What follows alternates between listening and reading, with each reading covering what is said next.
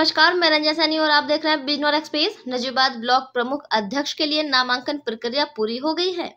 भाजपा प्रत्याशी अवधेश कुमार व किसान यूनियन समर्पित प्रत्याशी तपराज सिंह के बीच सीधा मुकाबला माना जा रहा है। दोनों प्रत्याशियों ने अपने समर्थकों के साथ नामांकन कर दिया है। भारतीय किसान यूनियन के युवा प्रदेश अध्यक्ष चौधरी दिगंबर सिंह ने कहा है कि ब्लॉक प्रमुख के चुनाव में कोई धांधली बर्दाश्त नहीं होगी। उन्होंने कहा है कि भारतीय किसान यूनियन तपराज सिंह के साथ खड़ी है। लोकतंत्र की हत्या नहीं होने देंगे। वहीं तपराज सिंह का कहना है कि हमारे पास बहुमत है। वहीं बीजेपी प्रत्याशी भी बहुमत की ताल ठोक रहे हैं। नजीबाबाद से अल्ताफ रजा की रिपोर्ट। जनपद बिजनौर के सभी 11 ब्लॉकों में 11 बजे से नामांकन की व्यवस्था प्रक्रिया प्रारंभ है। कई जगह नामांकन प्रारंभ हो गया है, कैंडिडेट आ चुके हैं। सभी जगह निष्पक्षता के साथ, पारदर्शिता के साथ लॉ एंड ऑर्डर को मेंटेन करते हुए कोविड 19 के प्रोटोकॉल गाइडलाइन को मेंटेन करते हुए समस्त प्रक्रिया सकुशल चल रही है। के साथ में और कौन कौन से दल हैं। हम तो राजनीतिक संगठन साथ हैं और बाकी सब लोग साथ हैं। और लोकतंत्र की हत्या करने का जिस तरह का प्रयास शासन के और सत्ता के द्वारा किया जा रहा है ये हत्या लोकतंत्र की होने दी जाएगी और अंतिम सांस तक संघर्ष किया जाएगा लोकतंत्र को बचाने के लिए।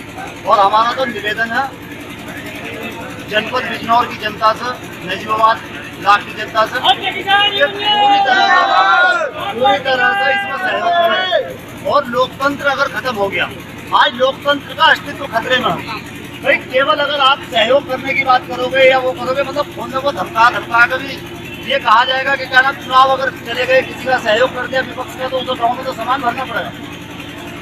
तो किसान तो यूनियन तो राजनीतिक है फिर आप ऐसी क्या वजह रही कि किसान यूनियन है राजनीतिक है लेकिन जहाँ शोषण होगा जहाँ अत्याचार होगा हम लोकतंत्र के साथ खड़े लोकतंत्र बचाने के लिए। हम किसी के साथ नहीं है। हमारा ये कहना ईमानदारी के साथ में निष्पक्ष रूप से चुनाव होना चाहिए और निष्पक्ष चुनाव कराएगा जिसके पक्ष में वोट होंगे वो आदमी चुनाव जीत जाएगा। कितनी संख्या का अपराधी को पता होगा कितनी होगी लेकिन हमारा तो ये है कि निष्पक्ष चुनाव होना चाहिए और चुनाव निष्पक्षता के साथ ही कराया जाना चाहिए। भाई सत्ता की मशीनरी का शासन जो अपनी मशीनरी का दुरुपयोग कर रहे हैं और चुनाव जितवाने का काम कर रहे हैं तो ये बर्दाश्त नहीं होने का खून बह बहा देंगे अपना अंतिम सांस तक लेंगे आज नामांकन है। जी। क्या कहना चाहते हैं? नामांकन करा दिया है। जी। मेरा नामांकन पत्र पूरी तरह जाँच लिया गया है। प्राइमरी तौर पर सब सही है। फिर भी मुझे तीन बजे फिर से बुलाया गया है। मैं तीन बजे आऊँगा। अभी जो उन्होंने पेपर चेक किया है उसमें कोई कमी मुझे नहीं बताई जी। सब कुछ ठीक है। सारे आदि प्रमाण पत्र हैं सारे सर्टिफिकेट्स हैं फ़ीस है सब चीज़ उन्होंने ओके बताई है। तीन बजे फॉर्मली बुलाया है बस फाइनल पर्चा ना कर दिया जाए। क्या डर है आपको?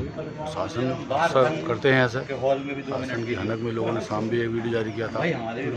उसी में लगता है कुछ ना हो जाए। आपको भय है आपको पर्चा निरस्त ना हो जाए? बस यही भय है मेरे पास पूरे मत है। मुझे कोई दिक्कत नहीं है। और कोई रास्ता बचा नहीं है। आपकी स्थिति कैसी है चुनाव को मेरे पास सौ से अधिक मत है। कुल एक सौ पचहत्तर मत है। मेरे पास सौ से अधिक मत मेरे समर्थन में है।